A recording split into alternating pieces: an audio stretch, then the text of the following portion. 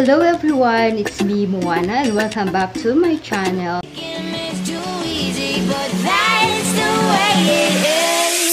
So today is Sunday. Gagawa tayo ng isang yummy dessert. So kung noon gumawa ako ng coffee jelly, ngayon ay gagawa naman ako ng Milo jelly. And meron nga pala akong dumating na parcel from sample room. Ito siya. So, mamaya na lang natin siya i-unbox after nating nakagawa ng Milo jelly. So, ito ang ating mga ingredients. Siyempre, Milo, Milo powder, Mr. Gulaman, yung unflavored any brand ng gulaman, unflavored, and uh, clear siya or white color. Oh. And gagamit tayo ng sugar and water, nestle cream, and condensed milk. So, ganun lang kasimple ang ating mga ingredients. Ilagay ang 2 cups of water sa ating pan Ibuhos ang isang sachet ng jelly powder.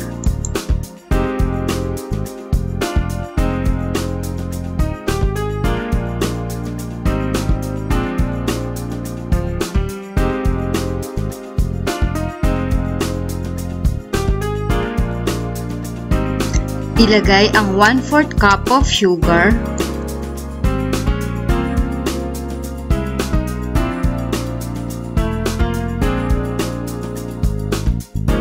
at ilagay ang kalahating cup ng Milo powder.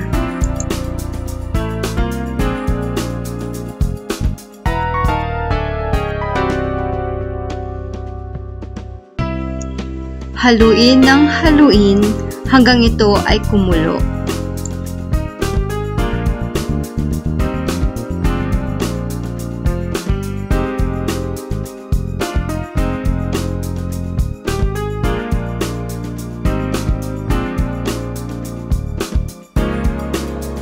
Kapag ito'y nagsimula ng kumulo, kaagad na itong alisin sa apoy.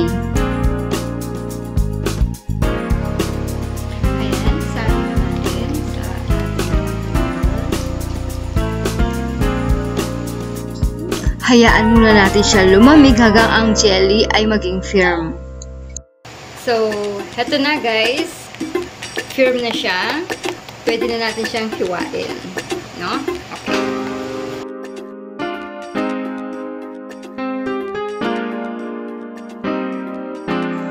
Hiwain natin na maliliit na cubes ang Milo jelly.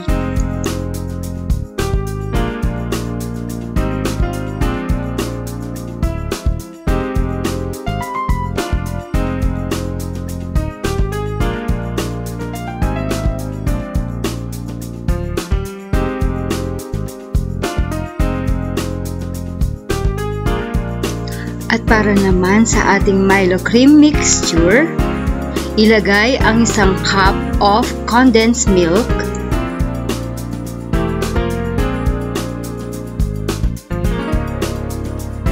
Isunod na ilagay ang all-purpose cream.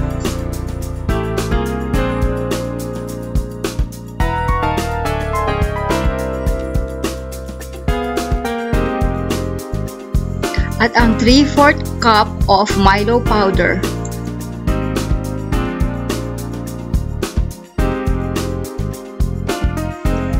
At haluin na itong mabuti.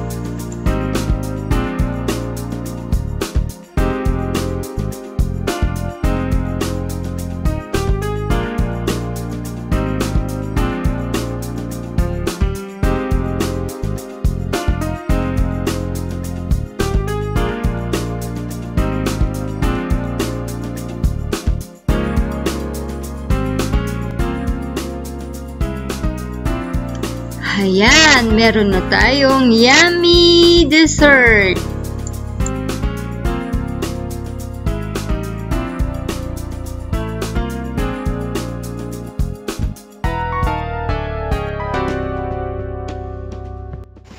So, heto na ang ating Milo Jelly. So, ilalagay na natin ito sa ref. Palalamigin na natin. At tikman natin siya mamayang konti. Pag malamig na, kasabay ng ating unboxing dun sa mga free products na galing sa sample room. Two hours later. Hi guys! So, we're back! Heto na ang ating Milo Jelly. So, malamig na siya. Kakalabas lang Open, siya ma. sa ref. Yun. Wow! Kumulo siya. Mama. Yun. So, ayan. Bidding ma, bidding. Yan. Ooh, wow. Dami siya. Mm, wait lang, kuha ako ng ano, serving spoon. Ayan. So, ang creamy niya, oh. So, kung habang tumatagal siya sa ref, nagiging creamy siya. Hangga, habang lumalamig siya, nagiging creamy siya. Mm? So, kung titigas pa to, or ano, siguro sarap-sarap. Pero mas maganda, wag yung patigasin. Wag yung lagay sa freezer. So, tama lang siya na nasa ref lang. Refrigerator lang. Fridge. Okay, tikman natin siya ngayon. Yun.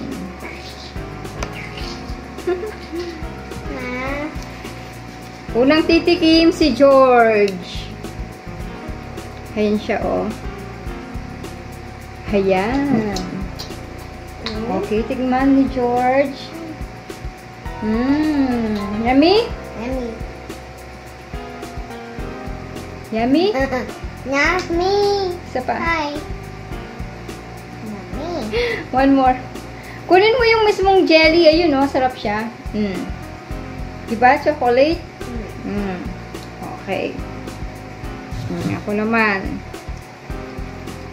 Mmm. Ang sarap. Ang sarap. Alam sarap.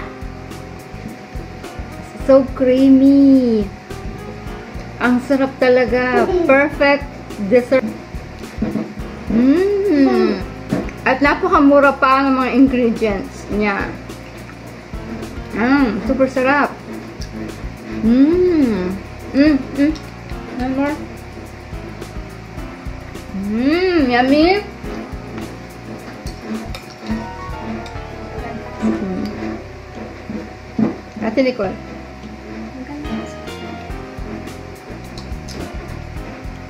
Ayan, sarap niya, guys.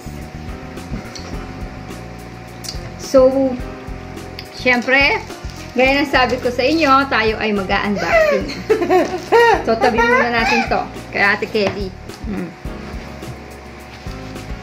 Yan, ang sarap ng ating nagawang Milo Jelly. So, gawa na kayo, guys. Tapos, itag nyo ko, ha? Kung ganun din siya kasarap. Kasi promise, ang sarap-sarap talaga niya.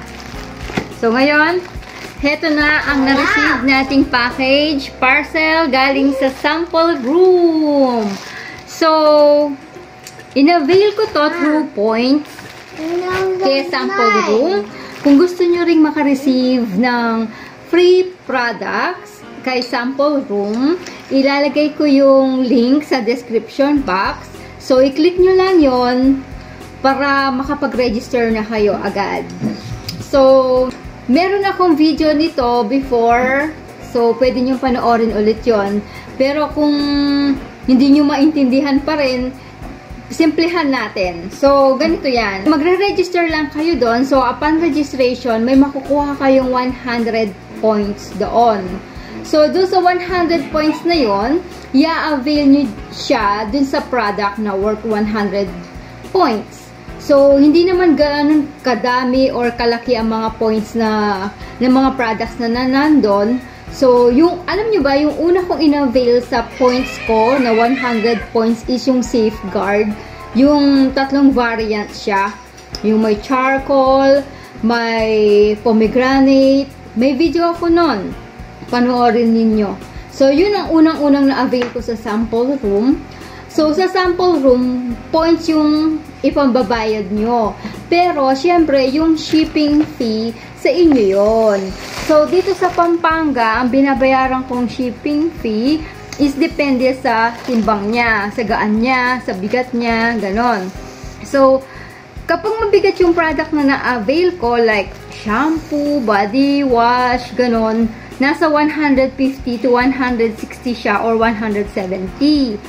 Kung magaan naman siya, nasa 130, 140, or 150. Ganon.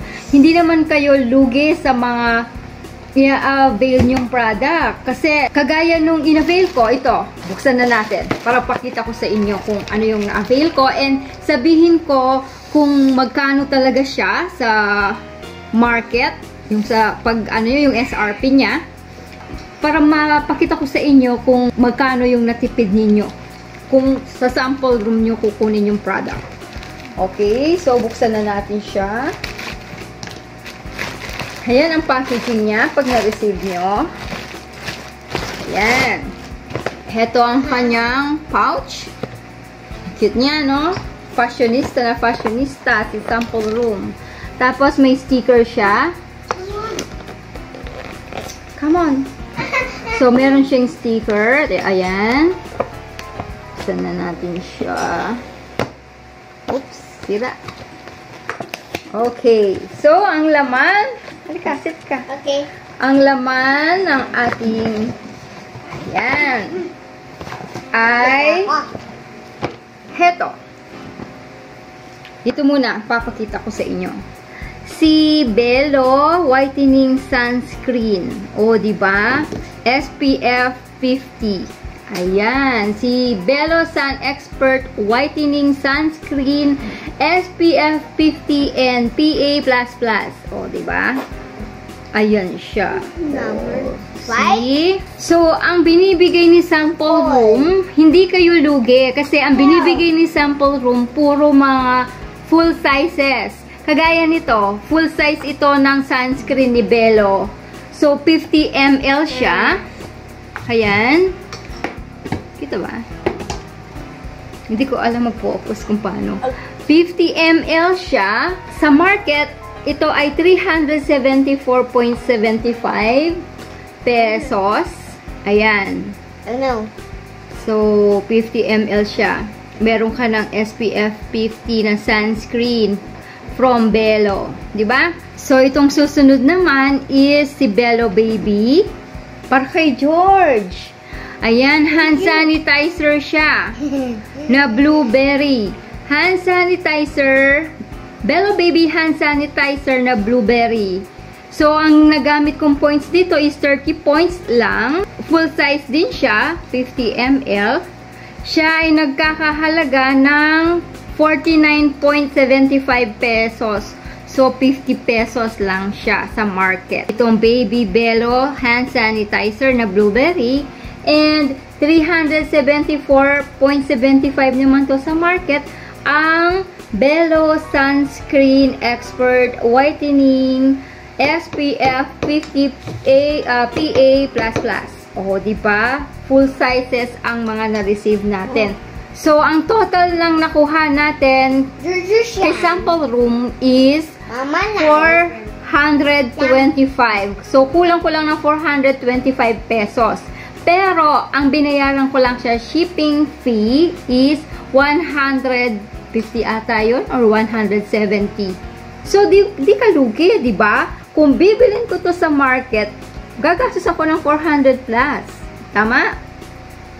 Pero, dahil in-avail ko lang siya sa sample room gamit ang aking mga points, naka-menos ako, di ba? Ang laki ng na-menos ko. So, meron ng hand sanitizer si George. O, para kay George to. Wait lang, paano ba natin siya gamitin? Open natin siya para kay George. Try natin siya. Ayan. So, George, here's yours. Hmm. Oh. Okay, taas mo yung hands mo. Baby Bello hand sanitizer, blueberry flavor. Try natin siya. Layo mo sa face mo. Okay. Hmm, bango niya. Oh, di ba? Hmm. Hmm, Ayaw bango mo. niya. Mm-mm. Ang bango niya, as in. So, may hand sanitizer Ang dami. na si George. Ginamit ko. And dito naman, so gagawan na lang natin siya ng review. So, itong sunscreen na to, whitening sunscreen ni Bello, Sun Expert SPF 50, PA++. Ito ay protection, no? Sunscreen protection sa harmful UV rays. So, minsan kami dalawa ni Ate Kelly, kahit nandito kami sa bahay, naglalagay kami ng sunscreen. 'Di ba? No?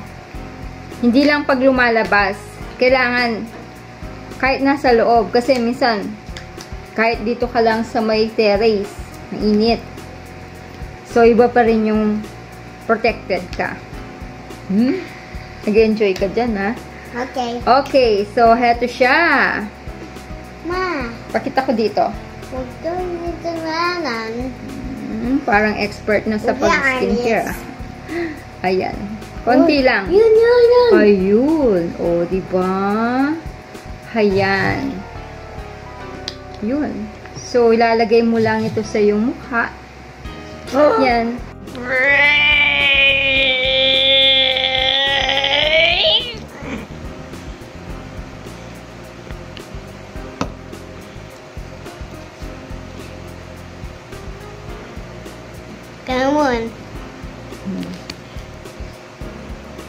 Yun, salap.